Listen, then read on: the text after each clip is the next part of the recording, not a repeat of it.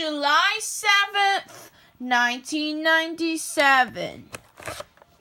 This copy does have, and yes, this copy does have the 1997 sword making video.